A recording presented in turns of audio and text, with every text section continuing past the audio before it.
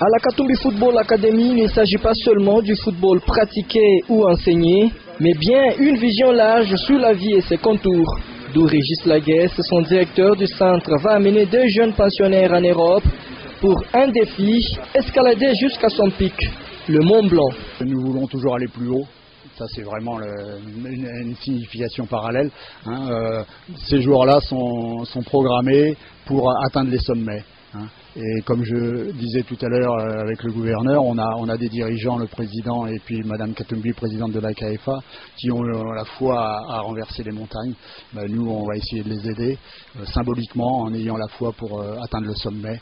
Et ce qui est préfiguratif de, où on veut emmener ces jeunes. Au sommet du football, au sommet à Mazembe, au sommet du football congolais et ensuite, si possible, pour la, la plupart, au sommet du football mondial.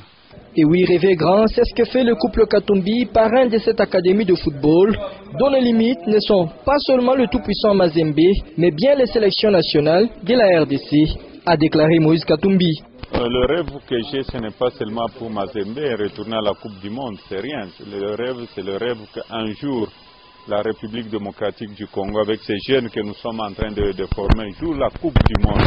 Hein, que notre équipe nationale joue la Coupe du Monde prendre un jour la Coupe du Monde avec la République démocratique du Congo. Tout est possible. C'est des jeunes gens euh, qui sont venus pour aider notre pays et non pas aider Mazembe parce que notre future équipe nationale, c'est les jeunes d'aujourd'hui. Euh, je les encourage, ils doivent aller de l'avant. Dans la vie, euh, il faudrait savoir se battre et ils doivent continuer à persévérer et surtout la discipline pour aller de l'avant ils vont au sommet. J'espère que, leur équipe, que leur, euh, avec leurs collègues, ils iront un jour au sommet de la Coupe du Monde. Pour Mboma Idriss, 15 ans à milieu de terrain, l'enjeu est si grand, mais il compte y parvenir. Je me sens bien, parce qu'on va partir à Mont Blanc, va escalader les toits de l'Europe. On sait que c'est difficile, mais on va arriver et son collègue Alain Goy, 18 ans, défenseur central, y pense presque comme Idriss.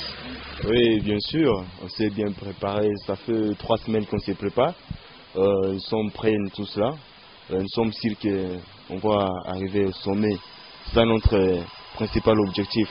Après le marathon d'Angers-Madrid, ce deuxième défi, le premier de l'année 2015, témoigne bien la hauteur et la grandeur de la vision qu'a Moïse Katumbi pour le football en RDC.